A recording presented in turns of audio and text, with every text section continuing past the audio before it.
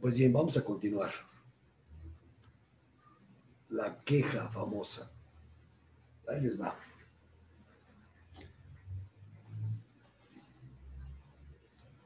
Fíjense lo que puede suceder. Y es un caso real, como hay varios.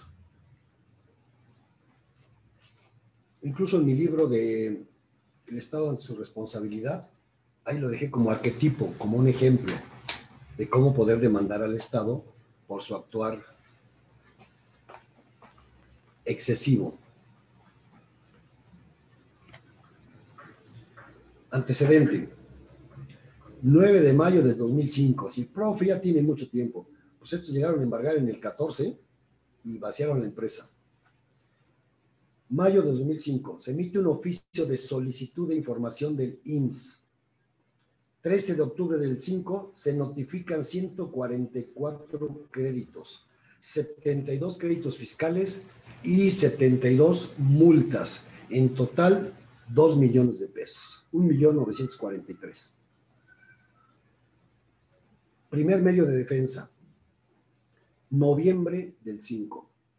Consejo Consultivo del INS. Resuelven un año después 2006. Segundo medio de defensa, 2007. Tribunal Federal.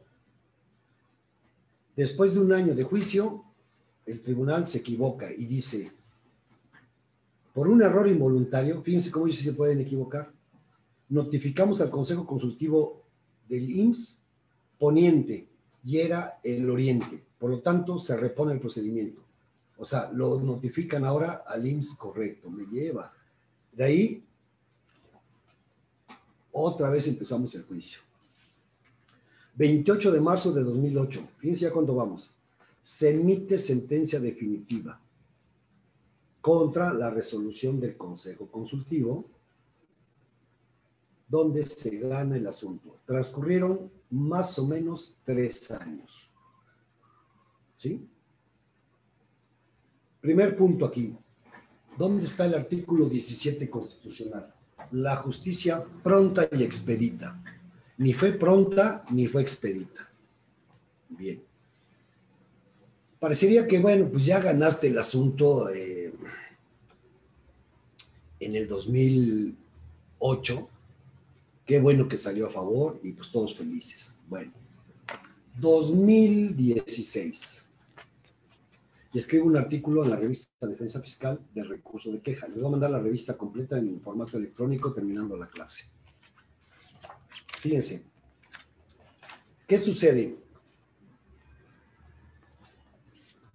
Derivado de la práctica ordinaria del litigio, nos encontramos con una triste realidad. ¿Sí? Lo que nos lleva a priori a tener siempre copias certificadas de las acciones que hagamos por un tiempo indefinido.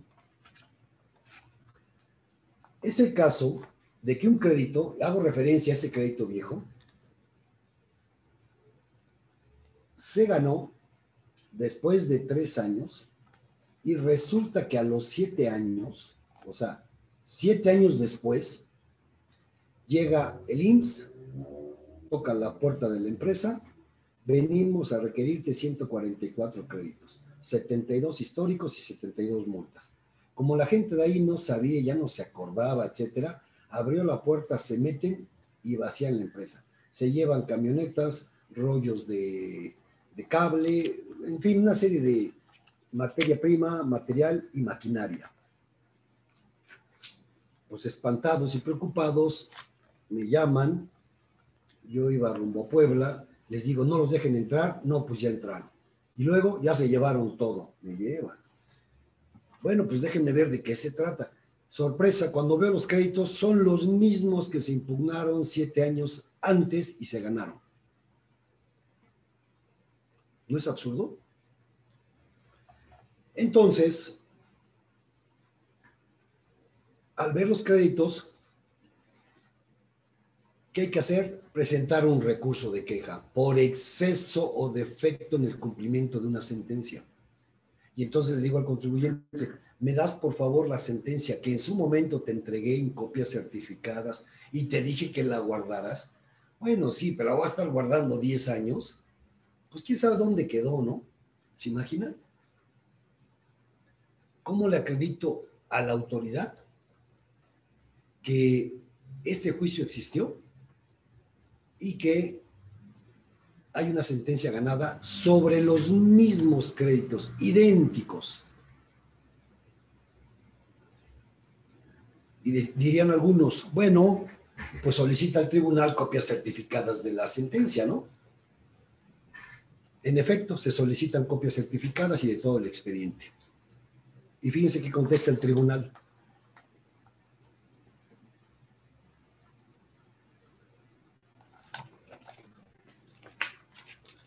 Incluso transcribí el acuerdo porque sí está desastroso, ¿no?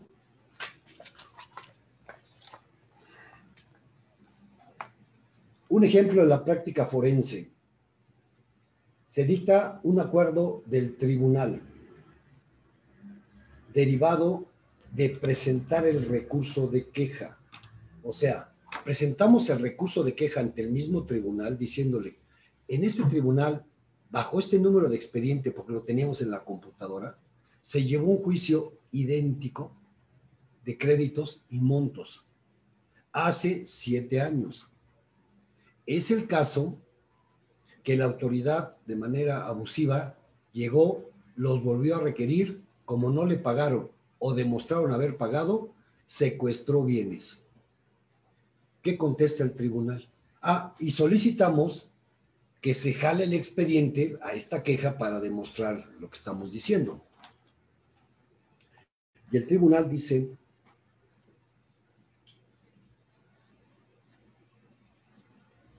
ahora bien, toda vez que el expediente número tal 2007, imagínense, fue destruido de conformidad con el acuerdo GJGA 15 del 2012, mediante el cual se acordó destruir todos los expedientes concluidos hasta el 2008. Este acuerdo se publicó en el Diario Oficial de la Federación el día tal por lo que se ordena al archivista adscrito a esta tercera ponencia que abra una carpeta para integrar un nuevo archivo, ¿sí? Porque ya no existe nada. Y pegan el acuerdo que la sala superior dijo. Todos los expedientes concluidos hasta el 2008, y así lo hacen cada rato, se destruyen. Se supone que se publica en el diario oficial para que la gente lo vea y diga, oye, yo tengo un asunto ahí, voy a sacar mis documentos. ¿Quién va a estar checando el diario oficial estos acuerdos para ver si hay papeles que dejen un expediente, etcétera, etcétera? Teniendo la sentencia hubiera sido suficiente, pero resulta que la sentencia el cliente ya no la tenía. Entonces, buscando en el archivo de la oficina, pues encontramos el expediente original con el que se llevó el juicio.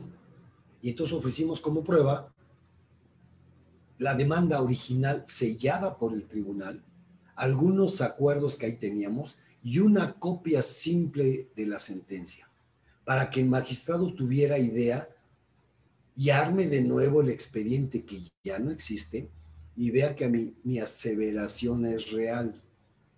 Ya con eso admitió la demanda emplazó al IMSS y le dijo, a ver, ¿por qué repetiste el acto? O sea, la salvamos de chiripada, como dicen coloquialmente. Imagínense si yo hubiera destruido también en la oficina ese expediente, porque nada más aquí hay un montón de cajas y nada más estorban. De casualidad ahí estaba después de siete años. Y la original de la demanda, donde viene la lista de todos los créditos con el sello, fue lo que nos dio la salvación porque, para que sepan, los expedientes se destruyen por un acuerdo de el Tribunal Federal cada cierto tiempo. ¿De acuerdo? Bien. En conclusión, se sugiere Como se ha podido observar, es muy importante contar con toda la documentación del juicio donde se obtuvo en su momento sentencia favorable, lo que nos obliga desafortunadamente a guardar casi por tiempo indefinido el mismo, porque de lo contrario no podemos alegar ante la sala del tribunal que hace años obtuvimos una sentencia absolutoria y la autoridad repitió el acto. Lo anterior se robustece con el acuerdo que aquí se transcribe del tribunal donde ordena destruir todos los expedientes concluidos hasta el 2008. Y este acto sucedió en el 2015. ¿Cómo ven? Entonces, ¿qué tenemos que hacer? En base a esta realidad, cuando ustedes tengan documentos importantes, ¿qué les cuesta sacar copias certificadas? Entonces, ¿qué hacemos ahora? Si sale una sentencia favorable, pedimos copias certificadas de la sentencia para dársela al cliente y unas copias certificadas de todo el expediente. Oiga, profe, pero es que vale 4 o 5 mil pesos, porque son muchas. ¿Cuál es el problema? Contra 3, 4, 6 o 10 millones de pesos, que era el crédito y que se ganó, 5 mil pesos es nada. Por si las dudas, que estos llegan a querer repetir el acto. Entonces ya ni le preguntas al cliente, ¿sabes qué? Estos 5 mil pesos para copia certificada, las solicitas, las tramitas y las guardas. Pero como el cliente las puede tirar o hacer algo, que te firme de recibido que está recibiendo esos documentos, porque después te echa la culpa. Licenciado, aquí porque nos conocíamos y nos volvimos a encontrar. Si no, imagínese, contratan otro abogado, no tiene nada, ni siquiera la demanda, y a mí no me pueden localizar porque ya no saben dónde estoy, el teléfono cambió, lo que se les ocurra, y hubieran perdido todo. Dentro de ese juicio se pide la devolución de todo lo que se robaron estos perdón, que se llevaron, ¿no? ¿Y saben qué contestaron? Que ya lo habían vendido fuera de subasta pública y que la camioneta tal costaba 35 mil pesos. La otra camioneta, 28 mil. O sea, hicieron una lista y un avalúo de basura. Los rollos de alambre, que son carísimos, unos rollos gigantes, que según estaban incompletos. En fin, nos hicieron una cuenta ahí que lo que se llevaron no eran ni 300 mil pesos.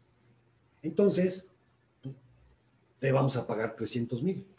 Cuando no era cierto, se llevaron cosas por más de un millón de pesos, ¿no? Y otro problema, para acreditar el valor de esas camionetas y de esos rollos, se le pide a la empresa las facturas y meter un avalúo y empiezan con que la camioneta no está a nombre de la empresa, está a nombre de la hija del dueño. Los rollos, pues no llevábamos un control de cuánto habíamos ocupado para saber cuánto tenían al momento en que se lo llevan. O sea, también salen deficiencias administrativas de la empresa. Pero bueno, eso por un lado. Queda claro que entonces hay que guardar copias certificadas de documentos importantes por toda la vida, porque después salen con algo ¿Qué me cuesta si en el momento lo tengo de una vez? Le repito, caso, materia laboral.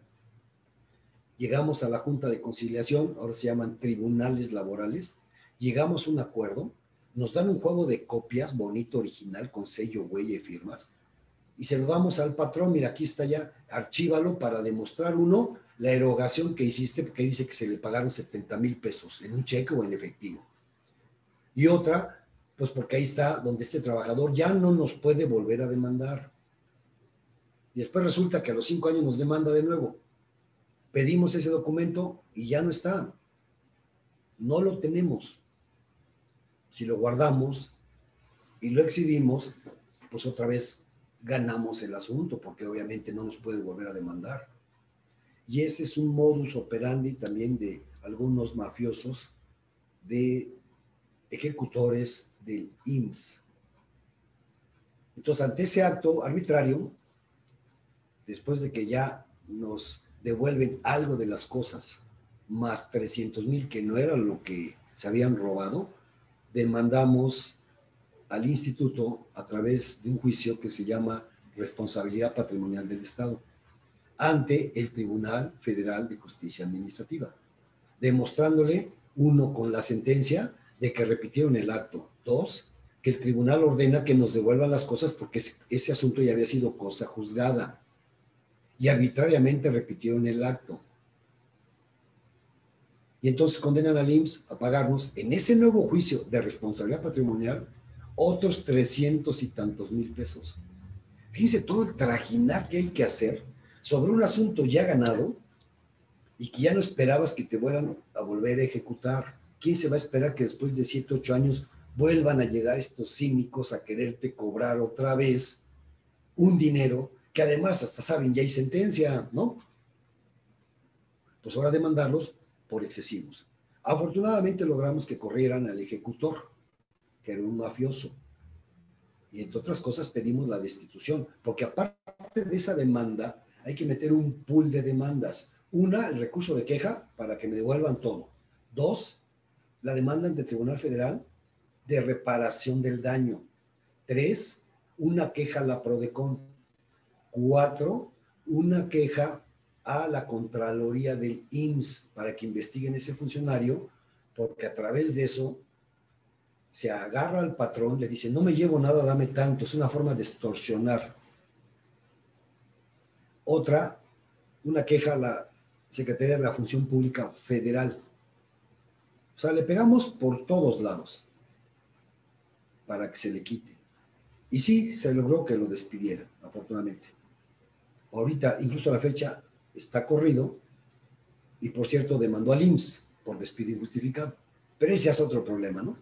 Pero le pusimos un alto, ya estuvo bien, ¿no? Pero fíjense a lo que hay que llegar y no todos los contribuyentes tienen la solvencia económica y las ganas de hacer esto. Les planteas el panorama y dices, ¿sabe qué? Ya déjelo así. Otra vez volvernos a pelear. ¿Y para qué la queja? Para que lo corran. ¿Qué ganamos? pues ¿qué ganamos? Ya sacarlo de circulación porque es un cuatrero que nada más anda asaltando con el poder que tiene para llegar a requerir créditos. Y en el momento, si no puedes demostrarlo porque no está la gente idónea, pues vacían. Y en lo que se aclara o no y piden que devuelvan las cosas, pues o ya las vendieron, no te las devuelven. O sea, te está ocasionando un daño. Pues hay que atacarlo de la misma manera. Y luego la última, que es la más efectiva y la que más me gusta, una denuncia penal directita de la empresa contra el funcionario, con nombre y apellido. Ya no es contra el IMSS, contra él. Y cuando llegan los ministeriales y va caminando, entrando al IMSS, el SC, lo agarran, va para adentro y te voltea y dice, licenciado, diciendo, ay, lo conozco, ayúdeme. Le dije, no, yo te denuncié, papá, ¿no? Vas para adentro. Ya después te suplica y te pide perdón. Oye, ¿cómo lo hacemos para librarme de este problema? ¿Te acuerdas que en un diciembre fuiste a extorsionar y a pedir derecho de piso a la empresa y dijiste, oye, para que no te caiga otra auditoría, quiero 70 mil pesos? Ah, no, sí es que iba a llegar una auditoría y yo la paré. Ah, pues para otorgarte el perdón son 140 mil, si no, no te lo otorgamos. Los consiguió en menos de un día y le otorgamos el perdón por la vía penal. Pero de todos modos, siguieron los procedimientos administrativos y quedó fuera. ¿no? Pero eso es complicado. Es porque el contribuyente quería, no se deja y tampoco se amedrenta a decir, no, ya déjelo así, ¿para qué tanto? ¿no? ¿Cuánto nos va a costar? No, no dijo, va y acuérdense que los juicios son de aguante y resistencia. Esa es la realidad en muchos procesos fiscales. ¿eh? para que no me los mareen con que dice esto, demanda y ganas. No, espérame, y si gano, y si luego no cumplen, y si regresan, etcétera, etcétera, etcétera. ¿De acuerdo? Por eso siempre quiero un paso adelante de estos arteros. Les pongo aquí una diapositiva nada más para que quede un poco más didáctico. Y, este, y ahorita pasamos a la sesión de preguntas.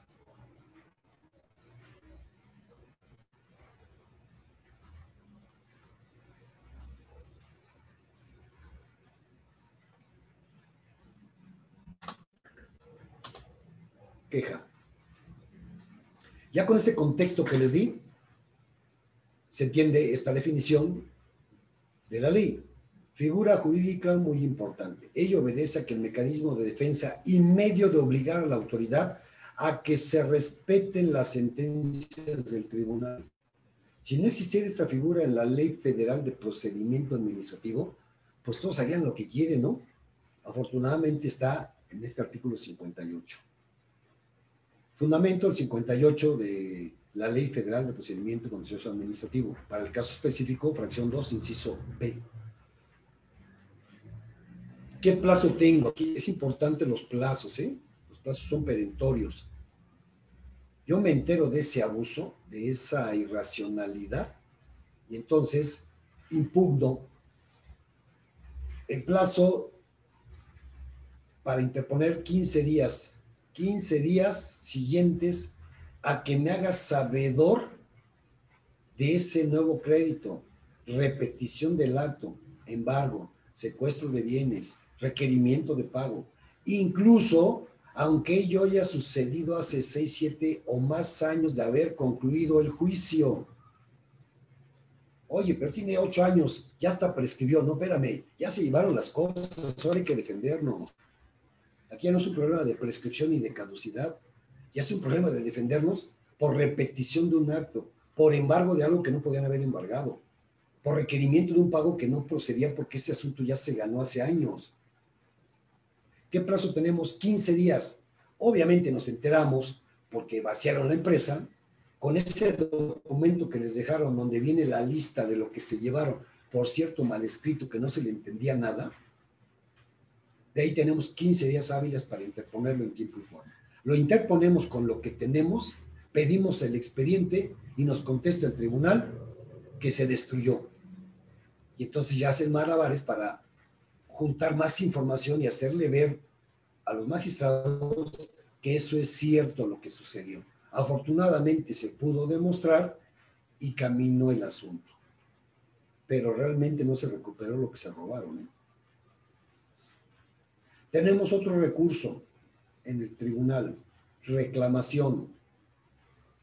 Lo encontramos en el artículo 59 de la Ley Federal de Procedimiento Contencioso Administrativo. ¿Sí? ¿Contra qué procede este recurso de reclamación? Contra la resolución del magistrado que admita, deseche o tenga por no presentada la demanda.